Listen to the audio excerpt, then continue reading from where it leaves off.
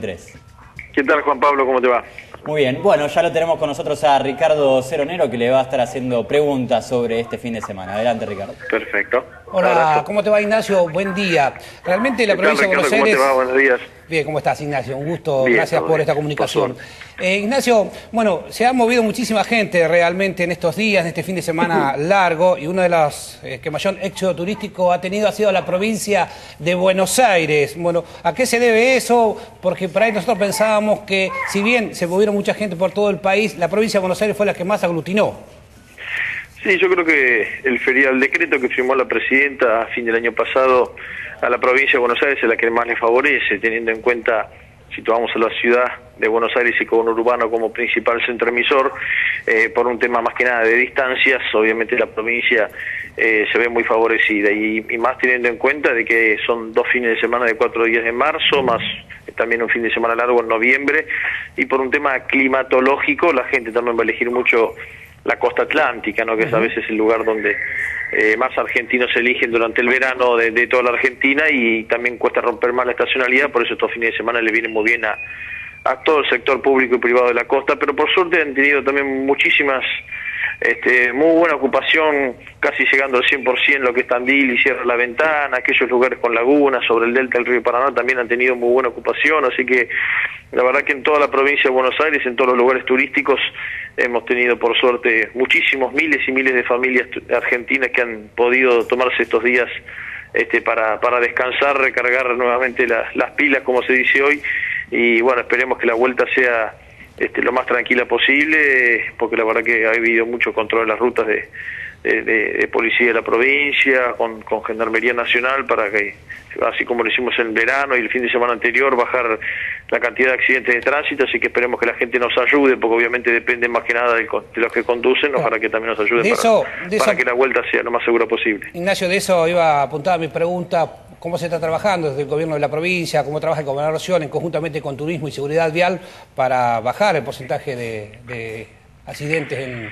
Y bueno, ruta? principalmente con, con mucho control, o sea, mucha presencia policial en las rutas que, que frenan autos y le piden los papeles, obviamente hace control de alcoholemia, este, porque si un auto tiene todos los papeles en regla, tiene menos posibilidades de sufrir un accidente, si tiene la BTV, o sea, la verificación técnica, técnica vehicular, si tiene seguro, entonces de esa manera hemos logrado en el verano bajar mucho las cifras de, de accidentes de tránsito y lo mismo con todos los fines de semana como veníamos hasta ahora. Este, bueno, el comienzo de este fin de semana lamentablemente no fue no, no fue tan bueno, pero bueno, ojalá que, que la vuelta sí lo sea, porque eh, nosotros estamos haciendo un esfuerzo enorme de todos los organismos de la provincia prácticamente para que para revertir esas cifras, lo estamos logrando, pero también obviamente necesitamos de acá. El actor principal es el conductor de que este llegar cinco minutos o diez minutos más tarde no le va a cambiar la vida y que, que es el- el- la persona que maneja la que se tiene que cuidar, la que tiene que hacerlo con prudencia, por eso también hemos trabajado mucho durante el verano y antes también con el tema de concientización, ¿no? de, de respetar las velocidades máximas, de que tengan esto al día y todo lo demás. Te hago una consulta. Estamos viendo que la costa fue obviamente el lugar más elegido en este éxodo, pero te quería preguntar en qué parte específicamente, en qué ciudad fue la más eh, elegida. Eh, lo que pasa es que, por ejemplo, Mar del Plata, con la gran cantidad de, de infraestructura que tiene, 10.000 personas pasan totalmente desapercibidas. Entonces, mientras que en otros municipios 10.000 personas sin duda se hacen notar. Entonces, si hablamos de porcentajes, está, eh, son todos muy similares. Si hablamos en cuanto a cantidad, y generalmente Mar del Plata siempre es la que, la que está arriba, porque justamente esto que te decía, en Mar del Plata pueden llegar a entrar sin ningún problema 100.000 personas y sin ningún problema, mientras que en otros municipios, eh, en, en muchos municipios no, no pueden llegar a recibir esa cantidad de gente porque no tienen dónde meterlos, pero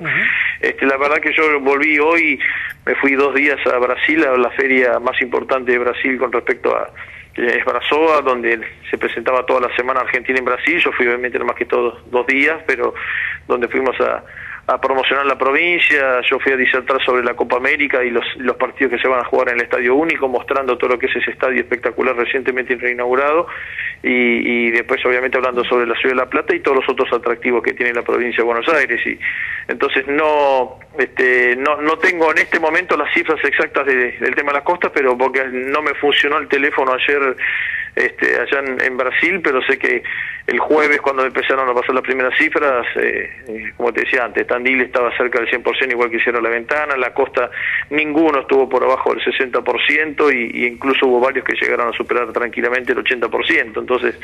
este, las cifras son muy alentadoras, al igual que lo que fueron el otro fin de semana largo que pasó hace 20 días atrás y, hay que ahora, una vez que termine este fin de semana largo, hay que seguir trabajando para que cualquier fin de semana la gente siga eh, recorriendo los distintos puntos de la provincia, obviamente después vendrá Semana Santa fin de abril, vacaciones de invierno, eso es una, una, constante que tenemos en, eh, desde turismo de promocionar la provincia en todos lados y eh, con todo el apoyo del gobernador Scioli, por supuesto, porque siempre está con la ventaja de tener un gobernador que fue secretario de Turismo de la Nación, que toma al, al turismo común en su política de Estado. Por eso que estamos promocionando la provincia como nunca la ha hecho Buenos Aires. Estamos promocionándola no solamente en otras provincias argentinas, sino también en, muchas muchas ferias del exterior. Y como te decía recién, Brasil es fundamental porque es el, principal mercado de turistas que vienen a Argentina son, son brasileños. Y sin embargo, no suelen venir mucho a la provincia de Buenos Aires porque no saben qué tiene. Pero la verdad que el tema de, de turismo rural, del golf y del polo les interesó muchísimo en estos dos días que estuve allá y vamos a enfocarnos mucho en esos, en esos productos, y, este, que es eh, la verdad que es algo muy bueno para, para, para, que los brasileños puedan conocer la provincia de Buenos Aires. Ignacio, te saco, muchas gracias, la última, te saco el tema del contexto de la provincia de Buenos Aires muy cortita, se reúne el Consejo Federal de Turismo en Calafate los primeros días de abril, ¿cuáles van a ser los temas a tratar eh, para hacer más sustentable y sostenible el turismo en la República Argentina? Bueno, realmente los, los temas, seguramente en este caso, lo primero va a ser cómo le fue el verano y porque es la primera reunión del año, el verano y estos fines de semana largos, siempre se toca ese tema en la primera reunión, lo, lo mismo que después de, de, vacaciones de invierno, a ver cómo le fue a cada uno. Y después son, se van tratando, la verdad que son reuniones muy positivas, donde más allá de diferencias políticas o incluso hasta competencias, porque al fin y al cabo entre, cada provincia competimos unas con otras, es un grupo excelente que trabajamos por el objetivo de que cada vez más turistas vengan a la Argentina en sí y que cada vez más turistas, esos, esos turistas que vienen la pasen de la mejor manera posible. La verdad que siempre las reuniones que yo trato de ir a todas, eh, a veces si alguna no puedo va alguna persona mía, pero eh, creo que he faltado una sola de que estoy y, son reuniones muy positivas que sirven para que entre todos en conjunto como argentinos podamos captar la mayor cantidad de, turistas posibles y definimos las en conjunto cómo les, les está haciendo cada uno, por ejemplo, en promoción, entonces algunos pueden modificar su,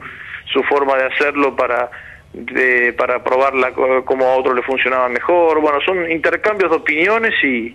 y sin duda va a haber, eh, al ser la primera del año, va a haber muy, muchos temas interesantes. Es más, está la posibilidad de hacer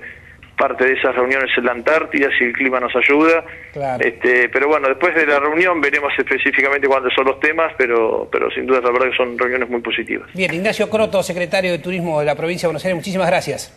Gracias a vos, Ricardo. Un abrazo grande a vos y a todo tu equipo. Bien, Juan Pablo, de esta forma hablaba Croto con un pantallazo general de lo que ha sido este fin de semana largo y se viene ya Semana Santa y las ocupaciones y las reservas realmente son muy importantes en todo el país. Exactamente, Ricardo, un panorama completo y te vas a quedar, ¿eh? obviamente, para hacer tu columna de turismo. Ahora nosotros les ofrecemos ir a una pausa, a un corte, pero en instantes...